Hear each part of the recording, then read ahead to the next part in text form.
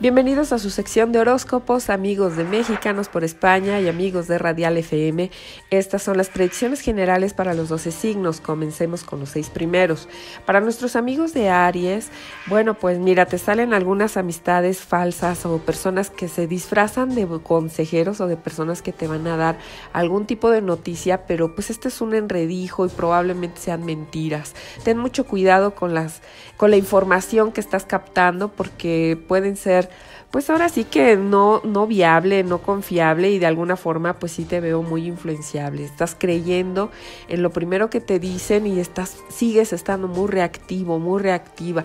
Todo lo que te dicen pues te causa de inmediato una emoción y puedes actuar por arrebato. Para nuestros amigos de Tauro, bueno pues mira, todo lo relacionado con asuntos legales, trámites gubernamentales, permisos de trabajo y también pueden ser litigios a tu favor. Todo está muy bien aspectado, se ve grandes avances en esta semana y probablemente parte de la próxima. Para nuestros amigos de Géminis, bueno, pues si estabas esperando que te pagaran un dinero que ya tenía mucho tiempo que no tenías noticias de este deudor, pues bueno, puede ser que ya empiece a avanzar en su deuda hacia contigo o de plano el universo empieza a compensarte todas las pérdidas que has tenido recientemente. Mira, aquí te sale la llegada inesperada de dinero y sobre todo de buenas oportunidades, tanto laborales como de crecimiento profesional. Para nuestros amigos de cáncer, es importante que sigas estructurando buenas relaciones con la gente y bueno, en este caso te sale muy bien aspectada la relación con Capricornio y con Sagitario. Si tienes algún negocio que hacer con alguno de estos personajes, está excelentemente bien aspectado. Si es una relación sentimental, eh, nada más llévate ciertas reservas porque estas personitas tienden a utilizar todo lo que les confiaste en determinado momento, eh, pues lo pueden utilizar en tu contra cuando sientan algún tipo de ataque o vulnerabilidad de tu parte. Bueno, ojo con eso.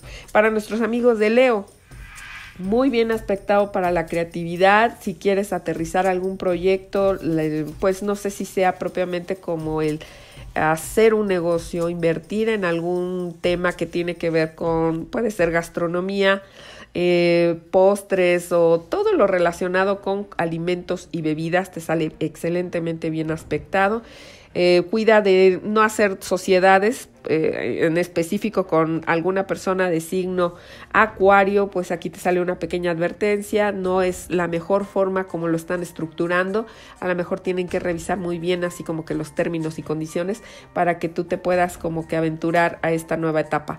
Y para nuestros amigos de Virgo, si estás pensando en eh, cambiarte de empresa o hacer un cambio drástico de tus funciones profesionales, a lo mejor quieres hacer algo un poco radical y estos giros así tan repentinos de 180 grados a veces te refrescan porque bueno, te puedes dar cuenta que tienes muchas habilidades y más que nada tu poder de adaptación es muy grande. El tema aquí es de que podrías estar siendo como oficiante de todo y pues bueno, no, no aterrizar muchas cosas. Ten mucho cuidado con estar pues diversificándote tanto porque te puedes perder en ese tipo de, situaciones.